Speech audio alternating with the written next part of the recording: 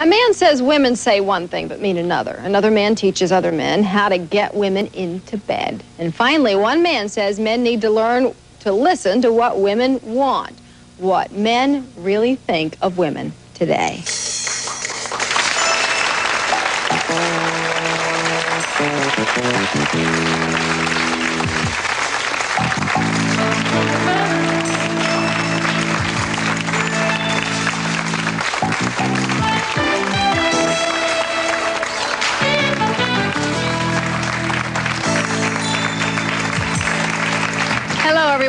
if you noticed by the shots that we're taking, but this is an audience of all women today. We have invited them here for a reason because we have three men with different points of view. These three men think they know what women think. And today we will find out.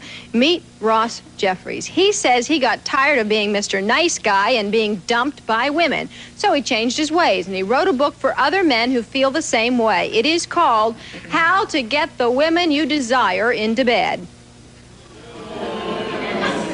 This is Mel Feit. Mel says women say they want a sensitive guy, but the minute men get sensitive, women run the other way. And finally, Bruce Weinstein. Bruce says he is pro feminist and pro woman. He thinks men would be a lot better off if they only learned to listen to what women have to say.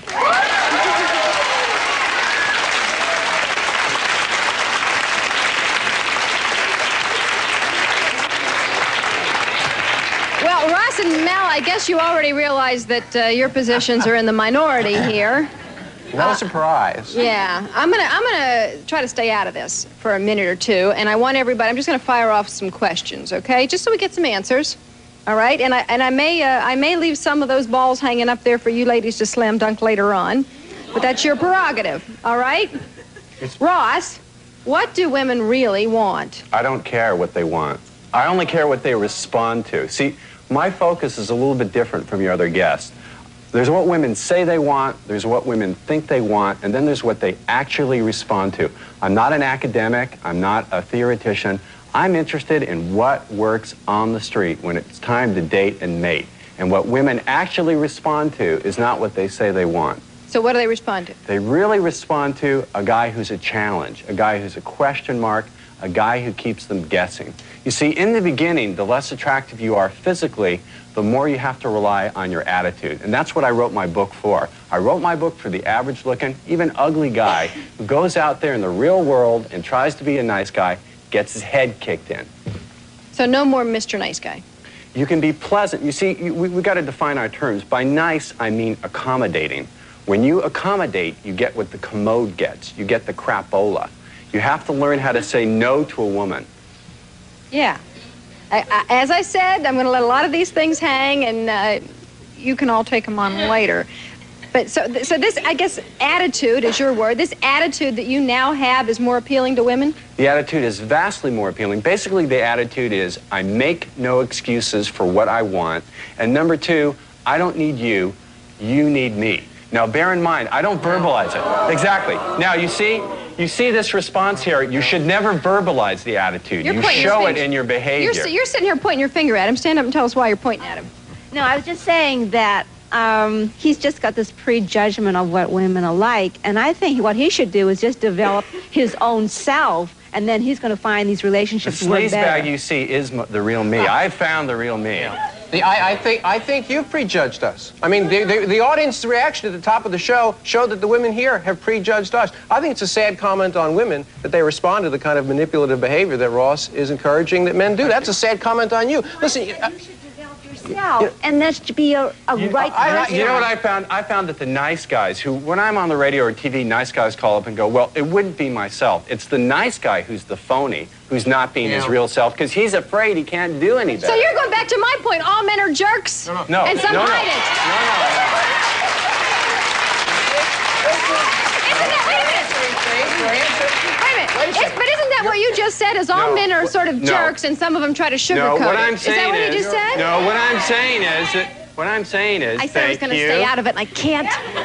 What I'm saying is, is that there's a massive power imbalance in favor of women when it comes to dating and sex. And women, through their behavior, through showing men what they actually respond to, force men to act in a certain way. Yes, That's there is a power ba- there is a power imbalance in our society, but who wields the power? It is men who wield the power, and I'm here to say, In I'm the here today to boardroom, say, not the I'm here today to say that it is time for men to give up our power and authority and our privilege because we have dominated women, we have dominated other men, we have dominated the planet for too long, and it has got to stop. Now, here's, here, hold on a second. This is what women want. They, they, they want to hear this.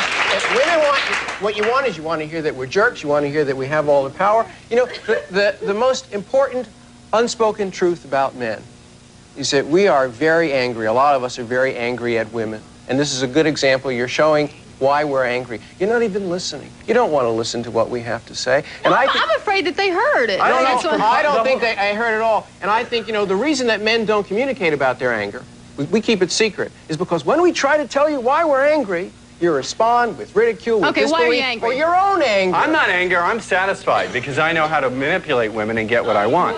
But let me say, his point is so preposterous. Every, get a shot of this audience. Every woman sitting here is sitting on more power than Con Edison pumps out in 10 years.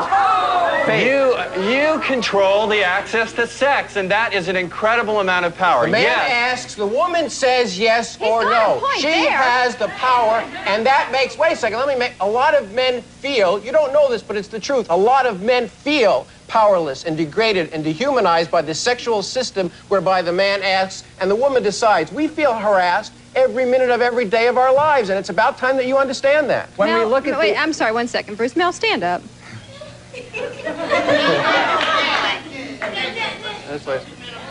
Now, Um, now, doesn't that invite harassment? No, what it invites is hypocrisy. What it invites is, you know, you're, the, the fashion rage for women this year is a man's suit and tie. When you decide to ridicule me in my skirt, you gotta be kidding. You gotta be kidding, Faith. I don't like the length, and I don't think it matches the sweater. Is my problem with it? But now, wait a second. I said that when men, when men stand up for themselves, what do they expect from women? Ridicule. You proved it, didn't you? I You did. proved- you I'm did. guilty right here. I admit it. I admit it. You have a question. Yes, my question is directed to um, him. What's your name again? Ross. Ross. I think you're gonna. said that. Ross. She said it. Ross. Ross, I think you're gonna end didn't up. say it right. Ross. Ross. I think you're gonna end up a very lonely man. But you got to understand, he says quite the contrary. He says he has a much better dating life, romance life, sex Yeah, life it's- now. It's incomparably better. I mean, you know, l- let's look at reality. The reality is that, that nice guys not only don't not only do nice guys finish last, they often don't even get into the race. And you want to talk about fashion? If a woman does like a nice guy, it's her way of making a fashion statement. It's fashionable for her to And, like that. and Ross is absolutely right. Women have a lot of sexual power, and he has the courage to say that. He's making a mistake, though. He's encouraging men to simply surrender to that power. And I think, you know, if you're a man and you follow Ross's advice, you're going to get more sex, but you're going to have less self-respect. There I are, don't agree there with are that. more Excuse important no. things in life than Excuse getting why- They laid. all disagree on that point, but let me get to the commercial break and we'll come back and find out why in a moment.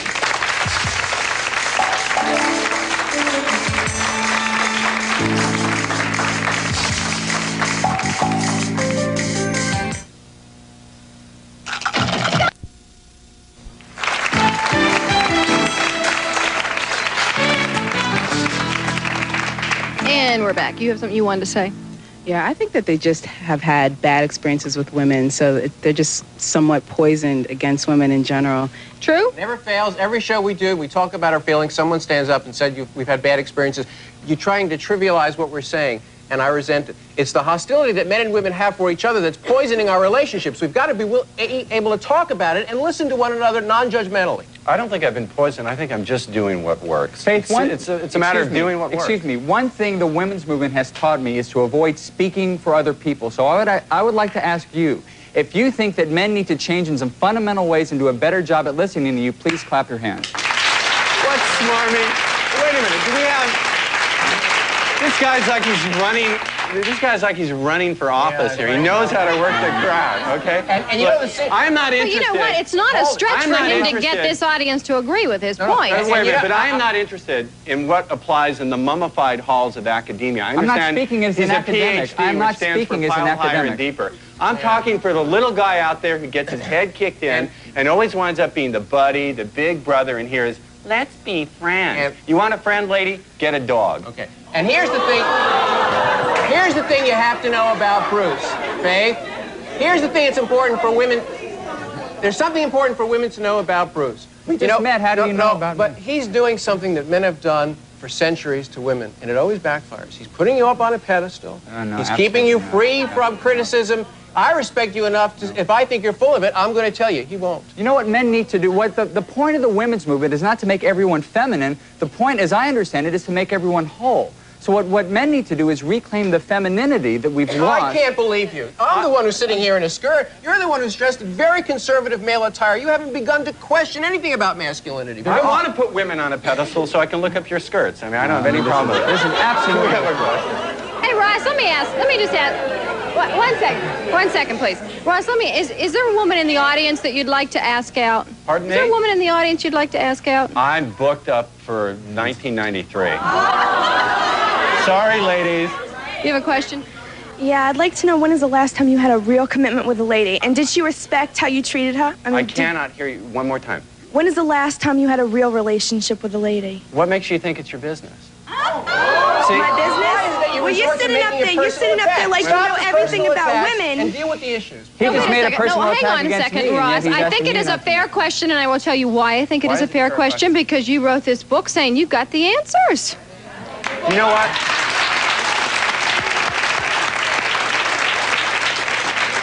So, At the moment, at the moment, I'm having lots of fun. I don't have a personal commitment to one person. Although I have been with someone I've loved for a long time, me.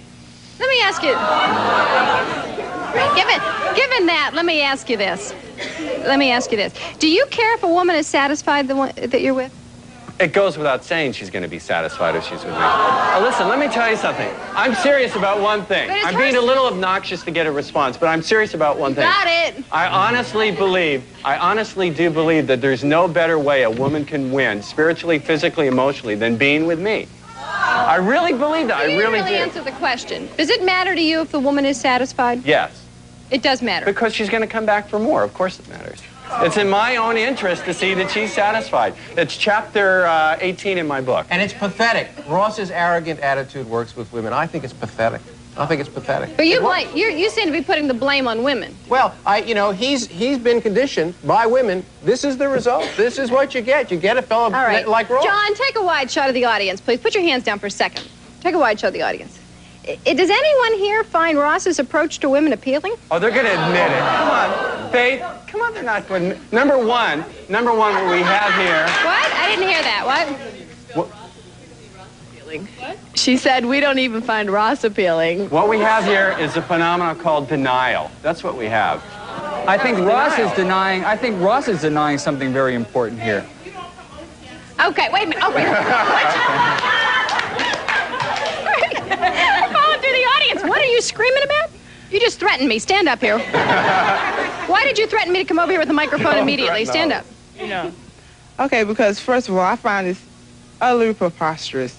You know, you're sitting there and you're putting us down to a certain extent, and what you fail to realize, both of you, okay, is that without your mothers, you wouldn't be here. There's this, hush, hush, hush, Positive about father. Wait a second. I'm waiting to hear something positive about You have your Let turn. Hush. about father. I'm not done. I am not done. You've had your say for I am 25 years, and I'm not going to let you shout me down. No, moving right along. Say something about fathers. moving right along. Do you hate your father? Fathers didn't have to carry you you for hate your nine father? months. That's Do you not hate the your question. father? Moving Hey, right say along. something nice about I your think that you're very.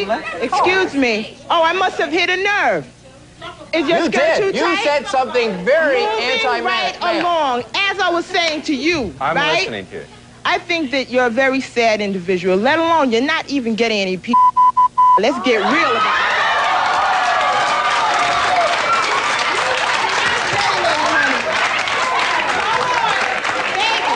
Let me tell you, just from listening to you, right? Wait a minute, hold baby sugar, I can tell that you are using the five fingers of death, okay? And you really need to get real with yourself and others. Well, with Faith, you, may I I'm very sorry. I have to get May to a respond? commercial break. I have to get to a commercial break here. And, I- and, I- and I gotta. s- I have to say that I'm not sure if spelling it will qualify with the censors. I'll be interested to find out if spelling spelling it makes a difference with the censors. We'll be back.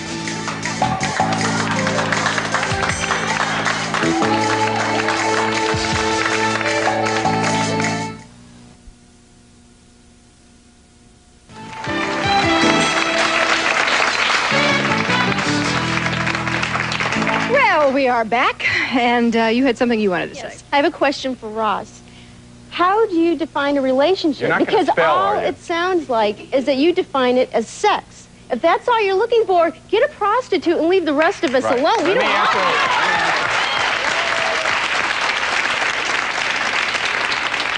Faith, thank you. That's an intelligent question. Let me answer it. Here's your answer. Doesn't matter whether you're looking for one steady relationship or a lot of women, whether whichever one you want, you still have to use the attitudes I outline in my book to get it. If you're weak, if you're a wimp, if you're too happy to be there, if you want to wash her car and be her wimp, you're not going to get a lot of women. You're not going to get one woman. You won't have a steady relationship. You won't have one night stands. It applies no matter what you're looking for. Yeah, do anybody agree with that?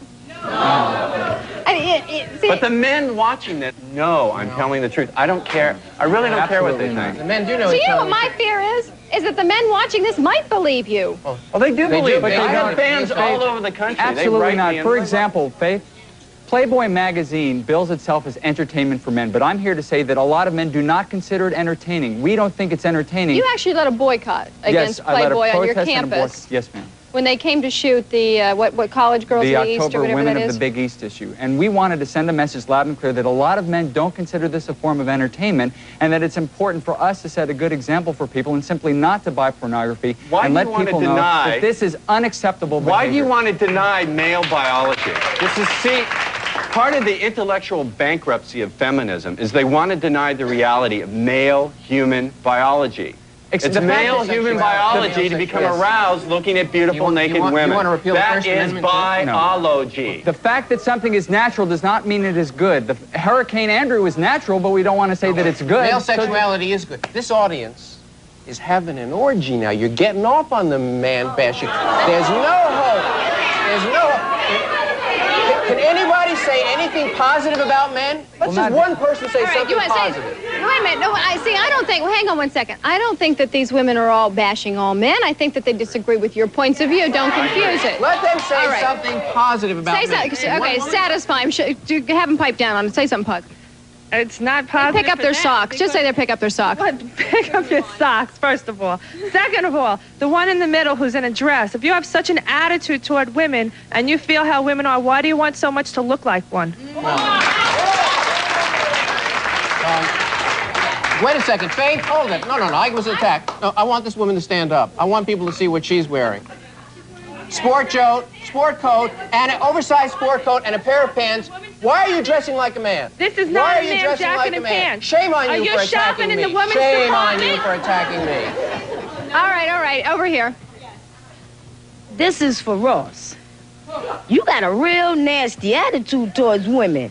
And that's why you ain't You know got what? none. Let me- let me you tell don't you know something. what they want. You don't know nothing about you women. You need to talk to one from the heart. Right. And talk and talk to him. You know, Stop if you're gonna judge him. sugarcoat it and No, beat around the bush, how can we have a Stop discussion? trying to figure him out because you can't figure him out. And you with a dress. How, do, how you expect women to listen to you? Let me respond to her. Look, look, look at you. This Look is at why you. I'm angry. Look at Let you. me Wait, respond. wait, I'm wait, angry. Let me Slow respond. She down, started slow with me. down. Let me You think respond. y'all talk about Playboy this and Playboy that. All y'all want is some sex. Y'all don't want no women. Y'all want sex. Let me let me Not with you. I don't want sex. I'm sorry. Not with I'm you. getting a commercial cue. We have to take a break. We'll come back, and I will let you respond when we come back.